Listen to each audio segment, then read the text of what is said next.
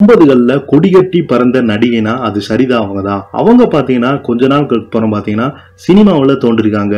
நடிச்ச திரைப்படமானது இப்போ அண்மையில வெளிவந்திருக்கு. அந்த திரைப்படம் பார்ப்பதற்காக தேட்டருக்கு போயிருக்காங்க.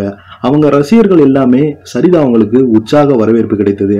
இதனால பாத்தீங்கன்னா அங்க ஹீரோவுக்கு முகம் சுளிக்கும் அளவிற்கு மாறி போச்சு வாங்க நடிகை சரிதா அவங்களுக்கு பத்தி ஒரு செய்திகள் வெளியாகி ரசிகர்கள் மத்தியில வரவேற்பு பெற்று வருது. அந்த செய்தி என்னன்னு வாங்க இந்த வீடியோல முழுமையாக பார்த்து தெரிஞ்சுக்கலாம். அதுக்கு முன்னாடி நம்ம சேனலை சப்ஸ்கிரைப் பண்ணாதவங்கலாம் சப்ஸ்கிரைப் பண்ணிக்கோங்க. அப்படியே பெல் பட்டன் சிம்பிள் அமைக்கி நம்ம சேனலோட நோட்டிபிகேஷனை எனபிள் பண்ணிக்கோங்க. அப்பதான் நாங்க போடுற வீடியோ உங்களுக்கு உடனுக்குடனே வந்து சேரும். நடிகை சரிதா மீண்டும் நடிக்க வந்திருக்காங்க.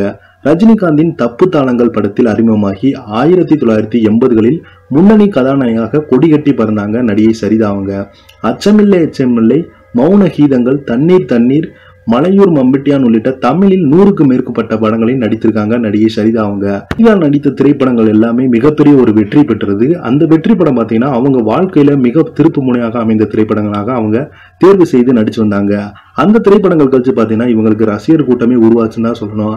திருமணத்துக்கு பிறகு சினிமாவை விட்டு விலகி வெளிநாட்டில் செட்டில் ஆன சரிதா நீண்ட இடைவெளிக்கு பிறகு தற்போது சிவகார்த்திகனுடன் மாவீரன் படத்தில் நடித்திருக்காங்க இது குறித்து சரிதா கூறும்போது எனக்கு நிறைய படங்கள் நடிக்க வாய்ப்புகள் வந்தது. ஆனாலும் நடிக்க விருப்பம் இல்லாமல் இருந்தேன். மாவீரன் கதையை பிடித்து நடித்தேன் என்று சரிதா அவங்க பேட்டி ஒன்றில் கூறியிருக்காங்க. படப்பிடிப்பு தளத்தில் சிவகார்த்திகன் என்னிடம் பாசமாக மரியாதையுடன் பழகினார். படக்குழுவினர் என்னை நன்றாக கவனித்துக் கொண்டாங்க. சிவகார்த்தியின் வளர்ச்சி பெருமையாக அளிப்பதாக உள்ளது. ரஜினியுடன் தப்பு தாளங்கள் நெற்றிக்கண் சிவப்பு சூரியன் உட்பட பல படங்கள் நடித்துள்ளேன்.